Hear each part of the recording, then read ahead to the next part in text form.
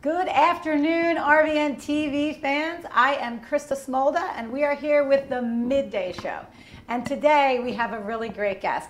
I've gotten to know him a little bit over the past few days, and I cannot wait for our third segment because he's going to do what he does best, and that is a voice talent and artist. His name is Paul Oleynick. Paul, are you there? I'm here. And Paul is coming to us from Calgary, Alberta, Canada. Did I say that right? You did. You said it perfect. And so you're you're a superstar. Okay, to me you're a superstar. And and I want to learn a little bit more about you first of all, yourself um, just as an individual and your background and how you got to kind of where you are right now. Can you share? Sure, absolutely. I started uh, doing theater in high school for three years, and then I was a bad boy. I skipped my grad, and I went. Uh, I flew to New York City to take a chance at uh, a shot at uh, television, uh, a television commercial competition out in New York City for the IMTA, Internationally Model International Model and Talent Association uh, convention out in New York City, and I actually came in first place to my surprise. Do you remember what the commercial was for? Uh, it was for Central Cadillac. okay. Now, how long ago was that? That was in 1988, way back when. Okay, so you so you win this contest, great. Now what happens after that? What happens after that? There was a few agents that were interested in me, but they said that I should probably get an agent out of Toronto. But I didn't want to move to Toronto at the time. I wanted to take some schooling, so I went to the National Institute of Broadcasting and took radio and TV announcing and production as well. Okay, and, And- you, you- I just go ahead. back. You said you, you skipped the grad. What did you? Yeah. What, Well, I was supposed to go to my graduation, but I skipped my grad because uh, uh, this was this was too big of an opportunity to go to New York to take a chance. You know what I mean? yes, yes. I couldn't agree more with that. Okay, so take us. What, what happens next? What happens next? Okay, uh, 19, uh, a little ways later on, uh, 1993, I direct my first produ- professional production called Talk Radio in Winnipeg, and it is reviewed and it is uh, highly acclaimed. And uh, next thing you know, I'm doing uh, audition for the Manitoba Television Network, and I did a whole bunch of voices for them and they hired me for a half an hour uh, children's show called Cleaners Inc. about recycling. And I did the voiceover of a dog. And lo and behold, that series won Best in Canada for uh, half an hour children's show. And it won, a, uh, won a CanPro Gold for excellence in Canadian broadcasting.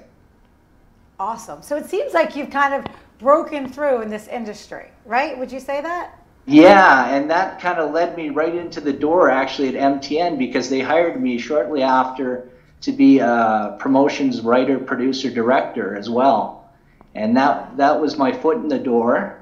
And uh, I did that for a good many years. I started off at uh, the Manitoba Television Network, and then uh, that was from 95 to 97.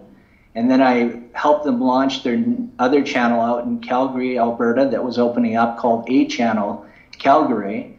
And they were opening A Channel Edmonton at the time and A Channel Winnipeg.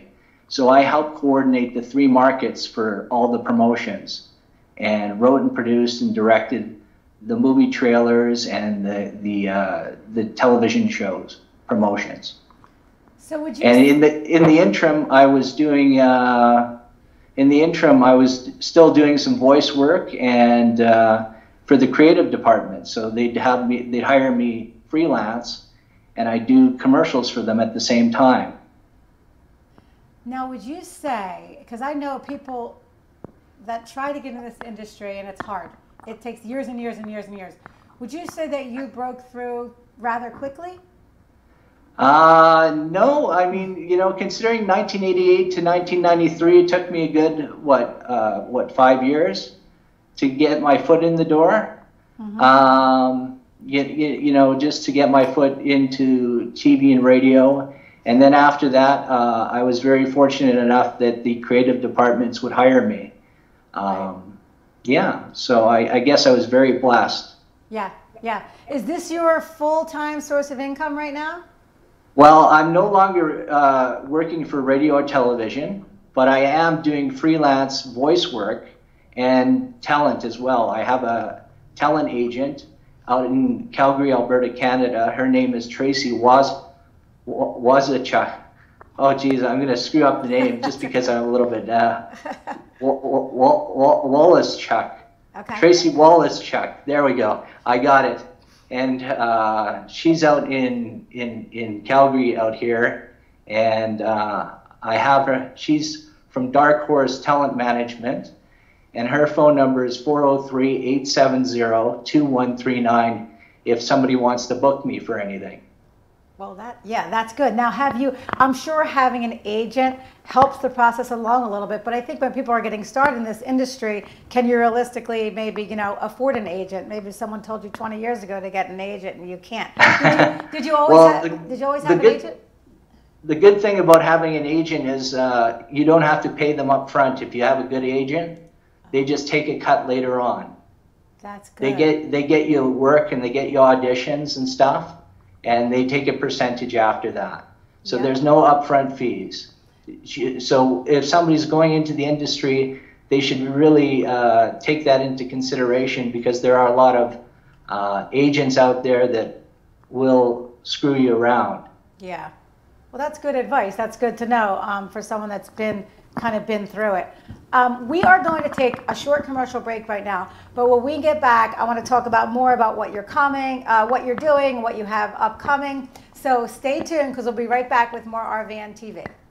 Ever expect from a Good afternoon. Welcome back to the Midday Show. I'm Krista Smolda, and we're here with a voice and talent artist, Paul Oleynick, and he is coming to us from Canada. Paul, is it cold out there in Canada? Uh, it's not too bad today. It's sunny out here with blue skies, so I'm not going to complain. wow, you might be in a better place there than we are here in New Jersey. uh, so, so you've told us a little bit about yourself and your background and how you've kind of broken through in the entertainment industry, and congratulations for that. But oh, thanks. going forward, what are your goals uh, what's the big daddy? You know, what are you trying to achieve in the industry? Well, I'd like to do some more cartoon voice work, and uh, I would also like to do some more audiobooks as well. I just kind of broke into the audiobook scene well within the last 24 hours, to be quite honest with you. Wow. I got two book offers, uh, audiobook offers for Amazon. Oh, congratulations. Thank you. Tell me more about that. So you would just read the book, or are they more like children's books where they're having animated sort of voices?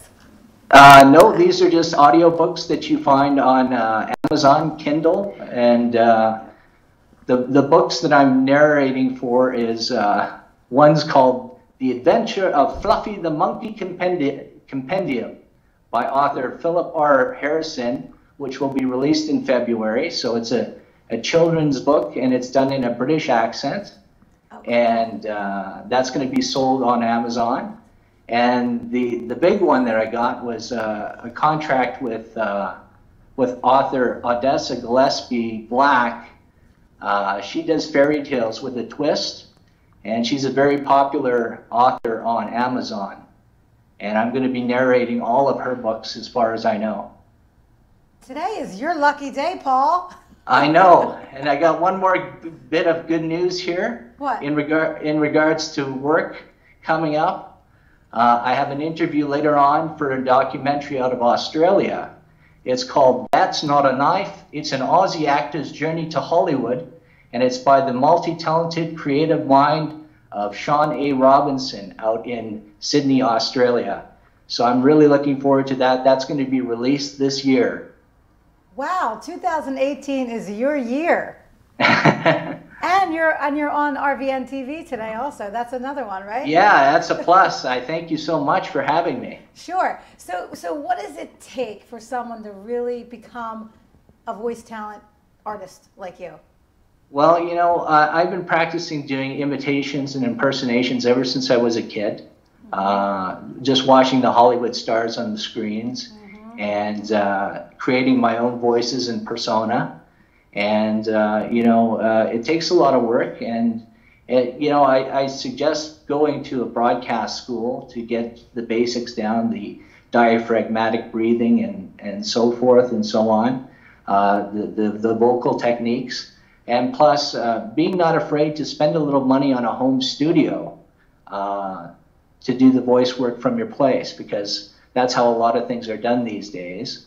And like I said, getting a good agent, uh, you know, uh, get a decent agent, shop around, and then uh, create your demo and get yourself out there. Uh, internet is incredible for, uh, like I said, just over the internet, I managed to snag these three jobs in the last 24 hours. That's awesome. And the internet has evolved us so much, and not just in this industry, but in other ways. So, you know, go back even, I don't know, maybe 20 years. It wasn't, it, it wasn't really as available to us to utilize, correct? Right. It's not as, it's now you can send your VOs out via email and uh, it's so much easier. You don't have to actually physically come down to the, the place and, and you can get direction from people online, whether it be on Skype or uh, FaceTime or whatever. Yeah. So it, it makes it so much easier. And, and so the, the voice talent, you said you've been doing this since you're a little kid, and I'm sure that's the case with most people that do what you do. They, they, they've done it as a kid. But you said that coaching really does help, right? Oh, absolutely. I, I would never, you know, I, I'm so happy that I took the course at the uh, National Institute of Broadcasting because that made a difference. Absolutely. That made a difference. And uh, I also did a little bit of radio after television for a few years as well. Now, do you like radio or television better? Uh, I love the medium of uh, radio. I like the old radio plays, you know, yep. the Shadow Knows and stuff like that. Yeah, but you've got to keep yourself relevant too. So if radio, you know, I don't know if radio is a, a, dying breed. You know, I just there's less and less radio, maybe more online, right? Streaming TV. You got to keep yourself relevant and stay. In yeah, you got to you got to keep yourself versatile. Be able to do a little bit of everything. A little bit of radio, a little bit of TV, a little bit of film. Yeah.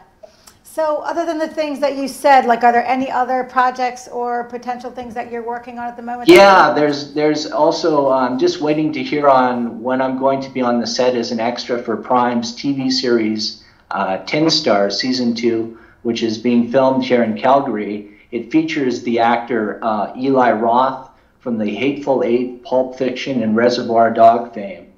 Oh, cool! So when will, yeah, you, when so, will you find out about that?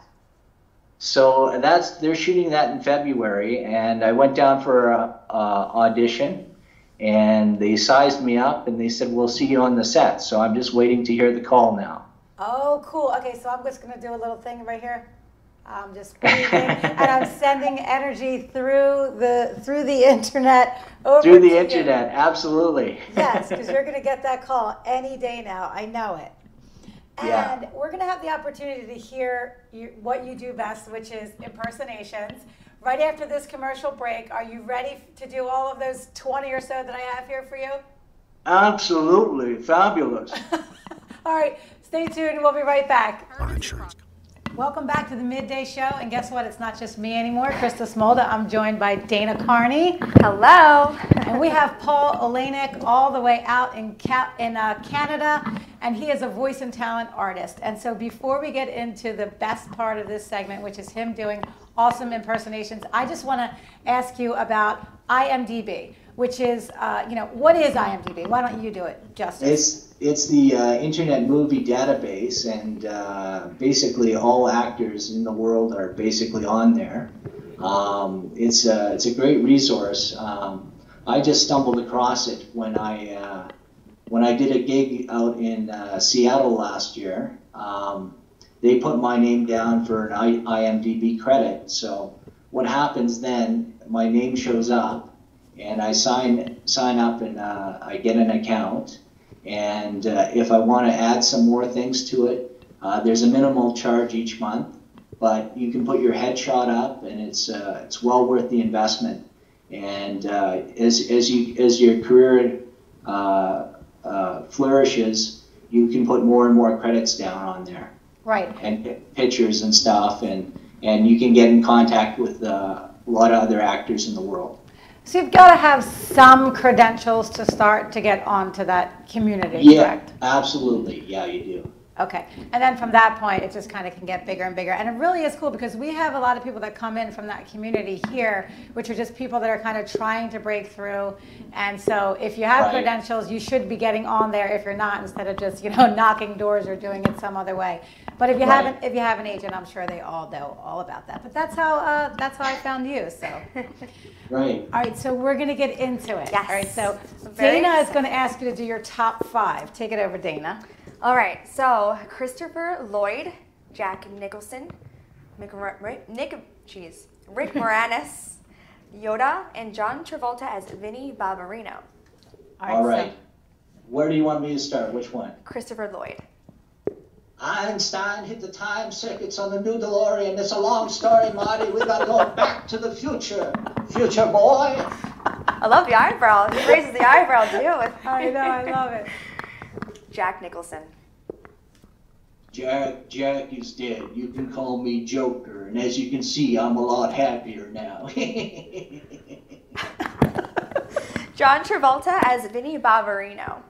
I- I'll spend hours on my hair and you mess it. Why? I, I get queasy. Why, why are you doing it to me, Dana? Why? Okay, that was really good That was a because I one. know him. uh, Rick Moranis. I can get salmon for sixteen ninety nine a pound. That's good financial sense. Okay, who brought the dog? Yoda. Hmm, you see Yoda. Judge me by my size, do you? Well, you should not. Hmm? All right, now this is kind of a weird one. I know this. I, I was supposed to do the top five, but it's my birthday tomorrow. Can you do something maybe like in Kermit the Frog's voice for me and say happy birthday, Dana? Okay. Hi ho, Kermit the Frog here with our special guest, Miss Dana Carney. It's her birthday, yay! I love it. Thank you so much. Oh, that was it awesome. brings You're me. It brings me back. That was great. Yes. Go ahead, you got the list, so you might. Oh yeah, so we can continue doing more. Scooby Doo. Scooby Doo. Raggy. Uncle Scoob. Oh, that's good. Oh my gosh, Cameron from uh, Ferris Bueller's Day Off. Running. Pardon my French, but you're a chicken meister. Wow, that's really That good. was good. Yeah. How about Scrappy Doo? Let me eat him, Uncle Scoob. I'll split him. Oh, that was perfect. Johnny Carson. I did not know that. That is some wild and wacky stuff. Mike, Michael J. Fox. Doc, you gotta check this out, Doc. Martin Short. Martin Short. Okay, just give me a second here. Hang on one sec. Uh, He's the guy. Um, SCTV. yes, yes, It started with a C, a bouncy C, a roly poly Wow. C. yeah, that's good. Yeah, yeah. How about Jimmy Stewart? Bert, Bert, you know me. Bedford Falls. Merry Christmas. I hear that you can do Santa Claus, though. Is that correct? Ho, ho, ho. Merry Christmas. I'm working on one right now. This one's just for you, Dana. All for your birthday. Oh, thank you. It is Gru from Despicable Me. Oh, Go ahead. I'm looking for a little girl named Dana. It's her birthday. that's good. my kids are going to love that. They love that movie. That sounded so great. Thank How you. How about Bugs Bunny? yes. Yeah, what's up, Doc? Carrots are for a dime, but a dozen for a dime. It's magic. Oh, that's good. That was real. That was great. That was great. Do you have a favorite one? Yeah. Do you have a favorite one, Dana? So far, Kermit the Frog Of was my favorite, and, and you know what? Actually, it's tied with Gru. Okay, uh, my favorite was Scooby Doo. Can you do it I again? love Scooby. Can you do it again, please? Raggy, Uncle Scoob. Oh my God, that's. But do you see his eyebrow when he does that, though? Do it. I didn't see it. Do You it. watch- do watch Scoob his again. eyebrow. Go ahead. Go ahead. One more time. Raggy, where are you, Uncle Scoob? So I don't. Do you know that your one eyebrow just goes up real high? uh, no, I don't know that. Okay, that's a talent. Yes, that's yes, a I talent it, in of itself. Yeah. Do you know any impressions? People are like, what is she? Do you know any impressions, Dana? No. How about you? Well, I got Droopy Dog. Do you know Droopy Dog, Paul? Yeah, I know Droopy Dog. Yeah, okay. sure. Are you ready? Tell me how this sounds. Ready? Oh, okay. Give me your best shot. Okay.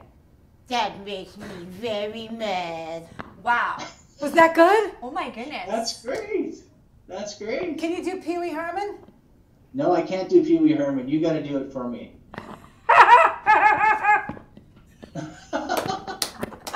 All right, so that was just a little talent that I had to just let out there. oh my gosh, I love that. So Paul, That's fabulous. Paul, it was wonderful for to have you on the show. You, if you did some amazing uh, entertainment for us. I love to laugh, and so Oh, yeah. as long as you're making people laugh, man, you are doing a great thing. Do you have anything? Do you have anything else you want to add? Like we want people to know where they can uh, find you and connect with you and hire you. Sure, absolutely. Uh, they can connect with me on Facebook at Paul Oleynick, uh, O L E Y N I C K, or uh, they can uh, they can connect with me on IMDb as well, and you can look me up on either one of those. And if you want to get in contact with me to do some work or something, you can contact my agent Tracy Wallace-Chuck at Dark Horse Talent Management. Hey, I said it right this time. Uh, her number is 403-870-2139. Thank you so much, Paul, Thank for you. joining us. We had a great time. Thank you for making us laugh. And I suggest that you hire Paul Mm-hmm. immediately if you have a need for any of his services. And to say happy birthday to you. Exactly. Yeah, and happy birthday, Dana. Thank you so much. All right, You're stay, welcome. stay tuned because we'll be back with more midday here on RVN TV. See you soon.